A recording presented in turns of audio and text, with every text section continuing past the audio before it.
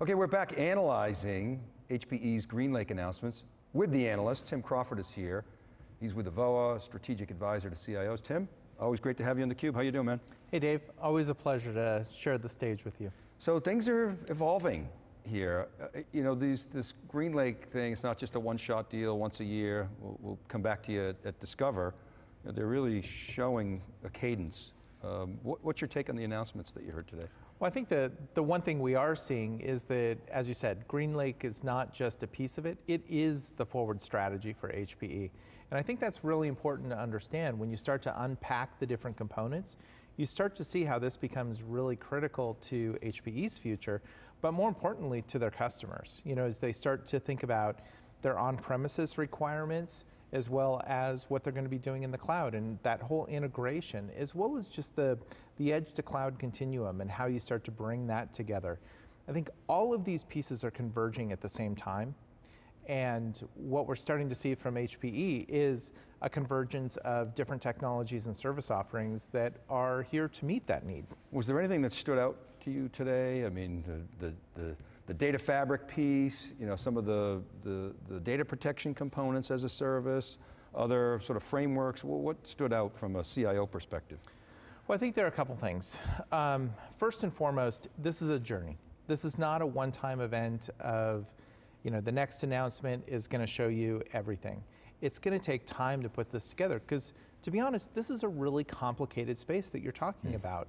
And so I think it's important to understand that when you're putting together your strategy, when you're thinking about how you're evolving from more traditional stacks and more traditional approaches and architectures to some of the newer forms of architectures and new technologies.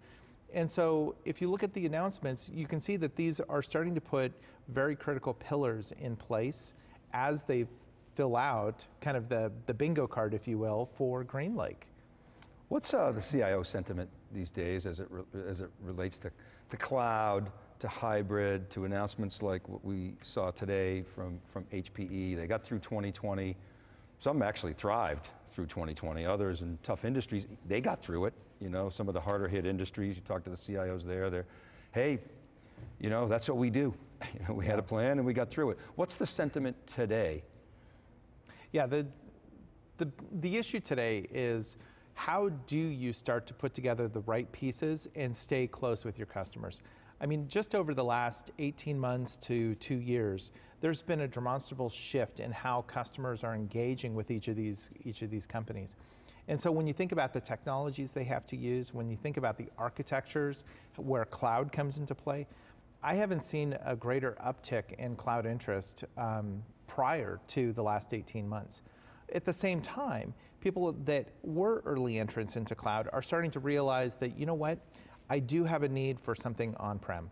I do need to have services that are more localized to my users or localized to my customers. And so that's where this hybrid story really comes to light, right? Is bringing that the goodness of what you get from public cloud as well as what you get from on-prem and then bringing private cloud into the mix. As we start to think about, again, going back to that edge to cloud continuum, you're going to have different components that are going to have to work together. I think the combination of the data fabric that was announced, as well as some of the other components coming together, start to fill in that puzzle.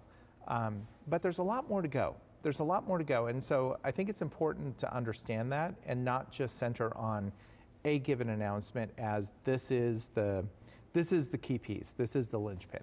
Does HPE have the right cloud strategy in your view? You know, they're starting to put it together. Um, I think they still have work to do, to be fair. But what I do like is how they're thinking about the bigger picture. And I think that is somewhat unique.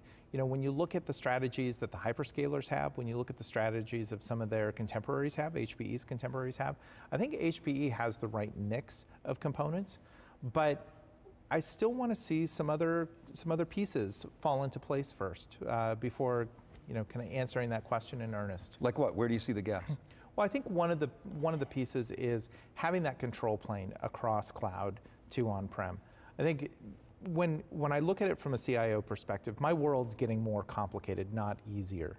And when I bring cloud into the mix, now it's gotten exponentially more complicated.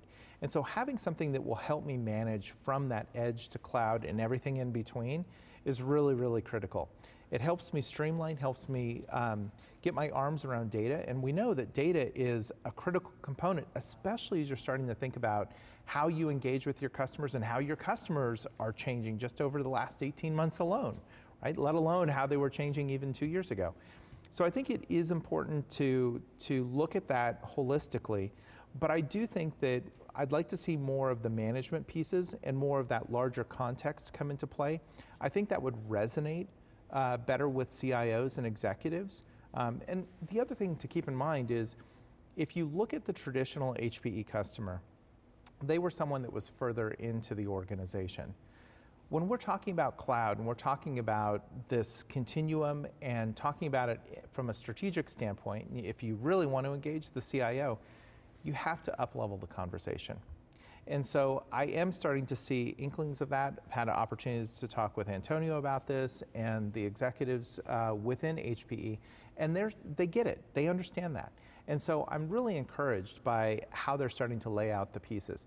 But there's, this, is a, this is a marathon. This isn't a, you know, a sprint and we go over the hurdles and we're done.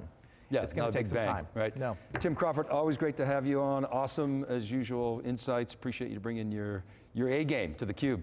Thanks, Dave. Thank you. Okay, and thank you for watching. Keep it right there for more great content from HPE's GreenLake announcement. You're watching theCUBE.